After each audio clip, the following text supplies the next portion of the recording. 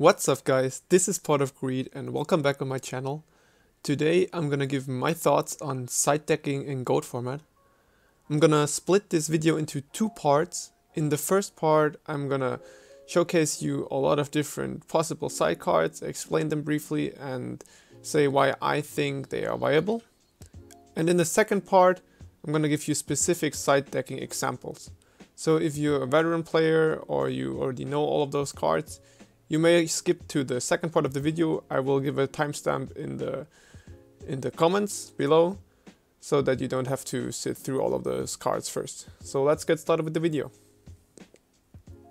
So the first pack of cards that you see here are side deck cards against Chaos. Thunder Dragon Chaos, Chaos Control, any form of Chaos deck.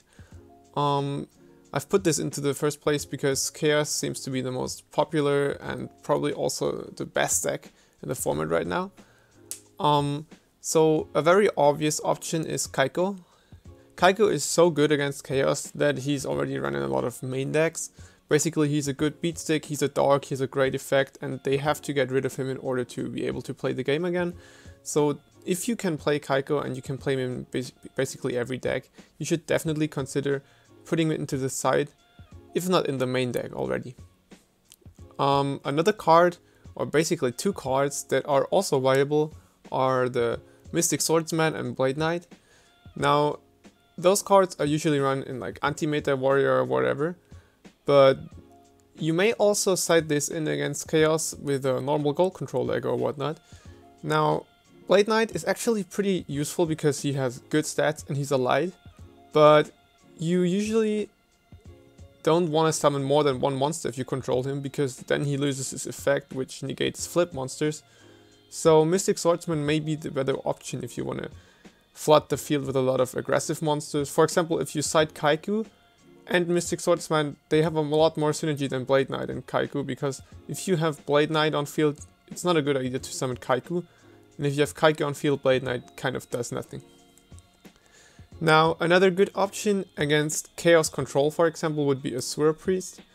A Asura Priest is especially good against Goat tokens, just like Tribe Infecting Virus, but um, they're also very good against um, recruiters, like Mystic Tomato, Shining Angel, whatnot, so yeah, consider running those if you don't run them in your main deck already.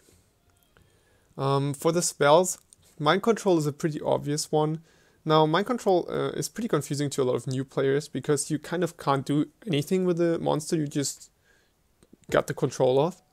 Um, basically, mind control is there to take the flip monster of your opponent because Chaos will usually just set monsters, flip the monster up, for example, a Magician of Faith, Dekoichi, whatever. And if you get a Magician of Faith and you can recycle spell of your graveyard, it's even more useful. So mind control is definitely not a bad option, however, I wouldn't side it in every deck that you play. Book of Moon is in most of my builds a staple 3 off because it's just so good. But if you're not running 3 Book of Moon already, you should definitely run them in your side deck. Against any kind of chaos control or also just chaos in general, Book of Moon is very useful because if they use Chaos Sorcerer or even Thousand Eyes, well, Book of Moon is basically the best out you have. Especially when you have like your own Chaos Sorcerer on field or something. Trap Dustshoot is especially useful if you go first because you lost game 1, for example against Chaos Turbo. Then you can just side in like 3 Trap Dustshoot and really slow down their plays. Ceasefire is a card that basically is considered a third nobleman. Um, in aggro decks, this may be a very very good option against, for example, Chaos Turbo, which just basically sets flip monsters all of the time. Um, not only does it help you to deal more damage, but it also negates the monsters that get flipped up by its effect. Um, I wouldn't cite this if you're running like a flip control deck or something on your own though, because it also negates your flip effects and then it kind of contradicts with your strategy. Now, a few more situational cards. Um, Divine Wrath is pretty useful if you're running like triple Raigeki Break. You may side out one Raigeki Break for a Divine Wrath uh, on your own if you're running Thunder Dragon Chaos um, to negate their monster effects because that's usually what's most annoying to you. Um, Royal Oppression is just generally a very good card if you're running like any form of anti-meta or something. But yeah, obviously your opponent can use it against you too, so you have to pick wisely in which deck you run this. And the same goes for Light of Intervention, like Light of Intervention, Royal Oppression, and Ceasefire, those three cards I would only recommend running in like aggro decks where you never set monsters or like rarely special summon monsters at all. Um, so yeah, that's my cards against Chaos. Now, from Gravekeeper Spy until Magic Cylinder, those cards are against aggro matchups. Um, obviously, defense is very good against aggro because they have to find a way to beat over your Gravekeeper Spy. Um, same goes for the legendary Jiu-Jitsu Master. Um, and an often overlooked card is Roulette Barrel. Um, now this card is, I would just say, straight worse than both of those two options. But in Shining Angel, in Angel uh, Chaos, this is basically a card that's searchable by the Angel, which makes it viable too. Um, Spirit Reaper is another card where you could say like Gravekeeper is just straight better. Well, Spirit Reaper is actually a pretty good option too, because Partial is not played so often these days, and Spirit Reaper has a very useful effect with the discard effect. It's often overlooked, and it is really annoying if the Reaper gets off its effect. Now, besides from all those defensive cards, actually there's a lot of offensive cards that could help you too. Um, now Berserk Gorilla and Cypher Soldier are two cards that just go the exact different route. Um, they don't stall out, but they basically replace something useless, like for example a Mystic Swordsman that you have in your main deck or something. Because if you have a 2000 beater on field, it's pretty annoying against aggro decks too. Like they have to invest quite a bit to get over that. But in most control decks, I would still rather side in defense uh, than offense. But if you're running aggro and you have a useless card like Mystic Swordsman, this might be the better option. Um, Newdoria and DD Warrior Lady. Now, those cards are basically monsters that you can search out with recruiters like Mystic Tomato or Shining Angel and against decks that really run a low monster count like most anti-meta warriors, um, those monsters can be pretty annoying. So if you're not running them in your recruiter decks uh, already in the main deck, I would definitely like put one in the side deck. Um, for the spells, Smashing Ground is always good because it just like gets rid of annoying monsters. Creature Swap, especially in recruiter decks, can be very useful because those players, like those decks, they usually don't run Scapegoat. So you pretty much always get your Creature Swap off and then you have their monster which is super annoying for them. It's just a great out. Um, the Nobleman of Extermination is a card that's also pretty much never played. However, I think it's actually very useful. Like, most anti-meta warriors, they don't run any chainable stuff. Like, they don't run Scapegoat or something, and Book of Moon is pretty useless too. Like, if you just immediately go Noble Nobleman of Extermination, they only have their own monster to Book of Moon or to Compulse or whatever, which already puts them in a bad spot. So if you run like this in the side against back row heavy aggro decks, this is actually pretty much the perfect card to play there. And yeah, another defensive card, Swords of Revealing Light. It's just, I don't think it's the best side deck card ever, but it can buy you time. Now, then a few more obvious ones, Sakuretsu Armor as well as Widespread Ruins, they basically the same card uh, with minor differences. Bottomless uh, as well as the normal Trap Hole can be useful too, however I would usually just go with those. If you really have a lot of trouble and you're already main decking Triple Saku, you may consider siding Bottomless. And Magic Cylinder as the last card, especially if you're running like a burn deck or whatever, and you're playing against players that are really aggressive or you're running like an OTK deck, this might help you to kill them even quicker. Now, a deck that I hate in particular is Burn. Um, there's so many different ways to play Burn, which makes it even more annoying. And you really have to pick your side deck cards wisely against it. Um, you cannot side the same stuff against Stallburn than you, that you could side against Pandaburn and the other way around. So yeah, just keep that in mind. Um, so Jinzo is always good against Burn. and if you run like a goat control deck or something, you should definitely side Jinzo. Uh, Death Wombat is a card that is pretty useless against Panda Burn, but okay against Stall Burn too. But you still have to keep in mind they're usually running triple Skill Drain, and then the Wombat becomes useless too. Um, so I wouldn't run the Wombat, but if you're running like an Earth Beatdown deck or something, this might be a useful card for you. Um, a card that I actually really like is Mobius. Now this is a flexible card, it can be sided in with if you're playing Goat Control, if you're playing Monarchs, or even Chaos. It's also a pretty good option um, if you're running a lot of useless spell cards. For example, against Panda Burn, like Scapegoat is pretty much the worst card you can play but some decks are running triple Scapegoat, triple Metamorphosis. Now, against those Panda aggro burn decks, you never really want to activate Scapegoat because it just helps them. And you can't really side out, side out like your whole control engine.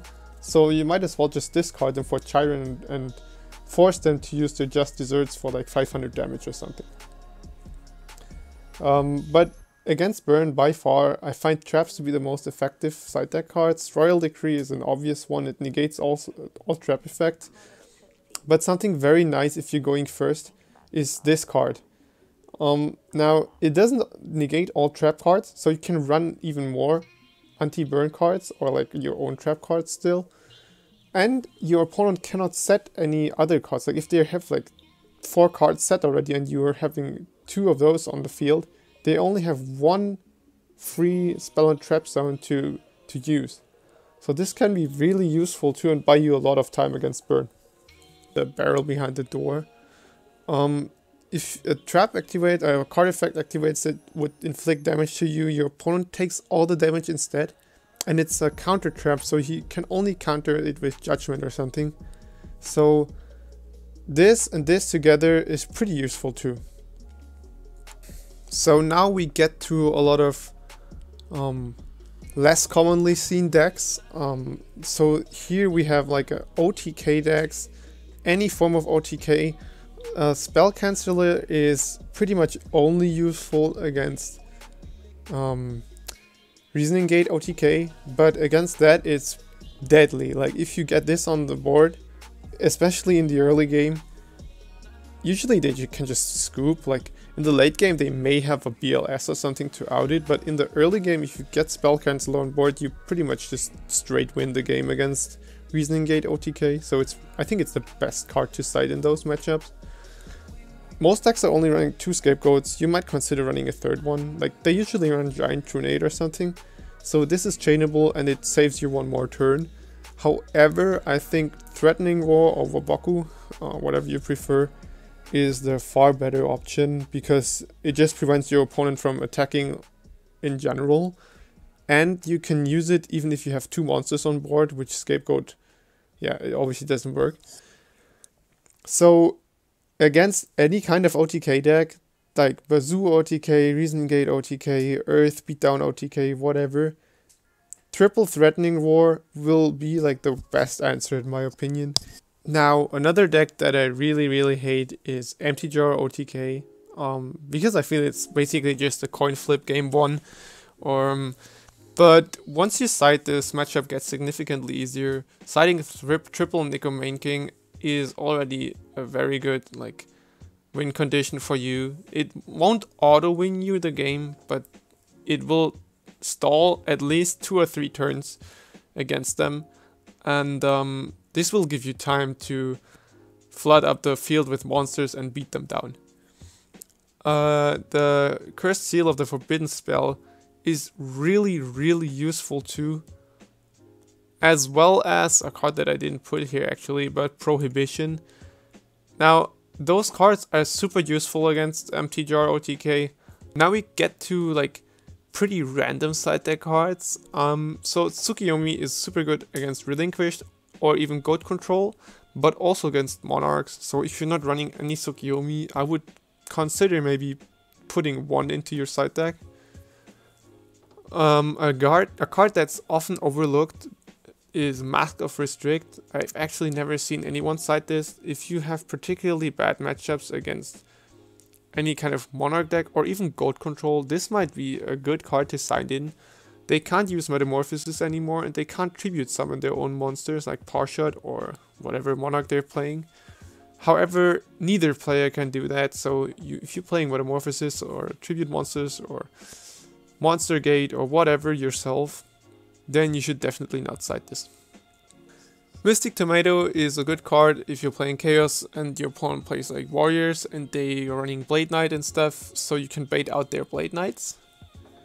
Magician of Faith is kind of just stands for any flip monster in general. Like if you're running aggro and your opponent will pretty much always side out their nobleman, you can game 2 then bring in some flip monsters and safely get off those effects which are usually extremely beneficial.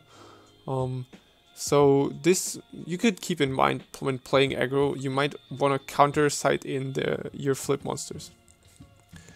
Those two are pretty much do the same thing. Um, just depends on what you prefer. This can dish out more damage, but this has a is beefier, it has more attack.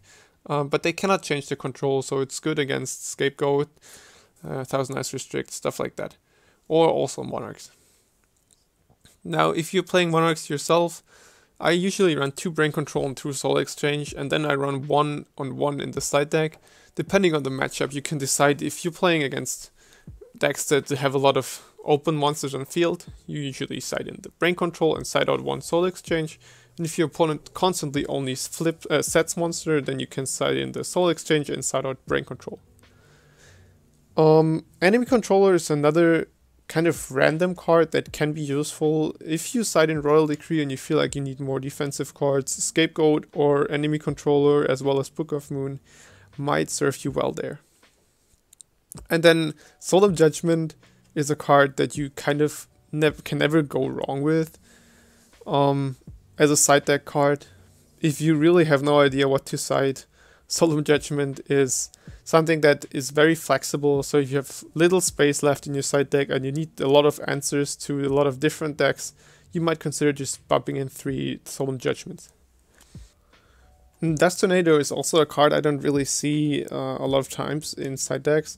However, it can be very useful playing against Gravekeepers or other decks that just stall out a lot of uh, with a lot of traps with like level limit area B or whatnot. Um, so Dust Tornado is also a good option. That's just like a flexible one or two off in the side deck. Um, those cards I won't really explain. It's just like it's other options that you have for your side deck if you really need specific answers. For example, against back row removal. And now we actually come to uh, Necrovalley. Well, Necrovalley can be a good side card in itself. However, Necrovalley uh, stands for another option how you can side deck in goat format. Now, you don't have to like put together side deck out of random cards. You could also just side a complete different deck. And I'm gonna show you what I mean by that in a few seconds. Now, this deck is an example for a deck where you game 1 run with a specific strategy. In game 2, you completely switch up the strategy and play something very different. And uh, this is effective because against decks like this, your opponent will usually side um, specific cards in and other cards out. Now, if you're playing against Final Countdown, what cards will be useless? Well, obviously any kind of like attack uh, negating stuff like Mirror Force, Sakuretsu Armor, Book of Moons, like a bunch of random cards. And if you game 2 side out those 15 cards and you put in this engine, you have an aggro deck that completely counters that. Now, if your opponent doesn't have any defense and you just run them over in the first 5 turns with a lot of damage, oftentimes opponents aren't prepared for that. And even if you lose game 2, your opponent still has like a coin flip if you completely side back game 3 or not. So this can be very useful and uh, yeah, I'm actually gonna show you another deck where this is implemented. Uh, very similar concept. Um, now, this is a stall burn deck. This deck, I would say, wins about 90% of the time in game one. there's little ways to counter this deck in game one. Most people don't run Royal Decree. Jinzo, you have to get lucky to get him on board before skill drain. And a lot of stuff just gets very like useless. You have a lot of dead draws against stall burn. And in game 2, you could just side out all the burn cards and run skill drain zombies. Game 1, you're running a deck that basically has a very good matchup against everything without siding. In game 2, you're completely changing your deck. I think I saw like a GIF, uh, GFC winner um, using Chaos, Thunder Dragon Chaos, and game 2 siding in Gravekeepers. So this is also another option where you just completely change your deck and then you mess up your opponent's side decking game plan. So yeah, this may be another option to side. So now I'm actually gonna show you an example for a side deck and uh, I'm gonna explain you how I go about side decking in goat format. Um, now this is a pretty standard Thunder Dragon Chaos control deck list. Um, and what you could can see here is that I'm maxing out on a lot of my side deck cards. And that has a specific reason. So if you run like one Threatening Roar, for example, in your side deck against OTK decks, the chances that you're gonna see that card until you're dead is pretty low. And the same goes for pretty much every card that you're running in a side deck. Um, also, I try to prepare my main deck for like very common matchups and then side against rogue decks or decks that I that you can't really prepare for in the main deck so well because it might mess up your strategy and you don't have enough space for your deck. Um, so what do I mean by that? This deck has like an okay matchup against pretty much every common deck. Goat Control, Chaos Control, Chaos Turbo, whatever. Um, if I see, however, that I'm running, for example, against Chaos Turbo, I might want to side in the Kycoo and the Mind Control. Those two cards are pretty useful against Chaos Turbo. Um, cards that are pretty useless might be Sakuretsu Armor, if they're playing very defensively. And another card that's not very useful could, for example, be like the Dark Mimic or something that you could side out for the Kycoo. But I'm not really changing the strategy of my deck nor am I changing that much in general. And that's what you should do too in my opinion. I don't think you should side extremely heavily. I think you should side a bit and change your deck slightly to have a like to gain the edge um, over specific matchups. But you should still remain with your general deck strategy. For example here you see that I'm turning two Gravekeeper Spy. That's also a very common side deck card as I just showed you against aggro decks. I'm already main decking that because it's not a bad card in general. And I'm running a Kycoo and an Asura Priest and whatnot, so I'm actually already preparing for a lot of matchups that might occur. Um, then obviously 3 Neko Mane, um, so this is only against Empty Jar OTK. Threatening Roar is super useful against OTK as I just said.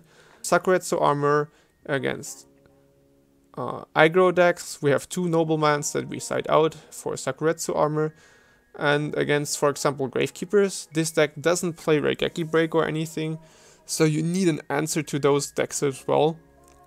So you just might want to run one or two Dust Tornadoes more to like make sure to get rid of the Necro Valley. But as you see, I'm never siding in like ridiculous amounts of cards. The most like cards I will side in specific matchups are three. And this makes sure that my deck basically still stays the same with one specific change that might make me win the game in the end.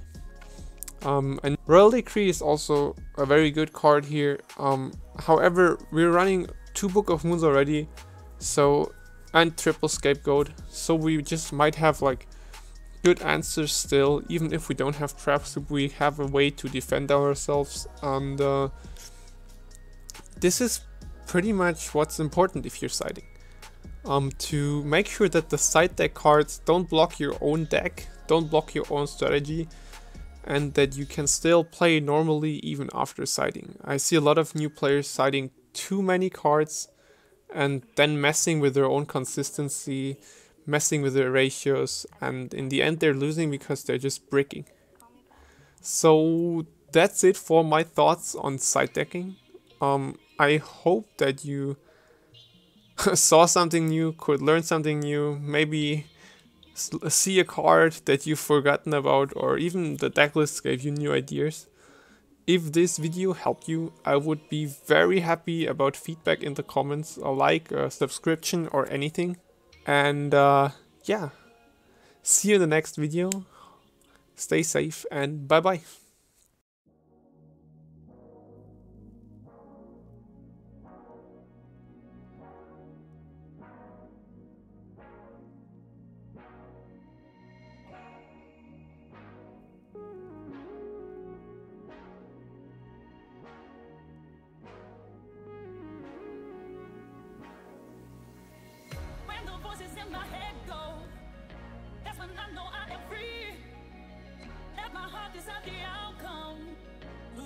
Faith and trust in me. Your hands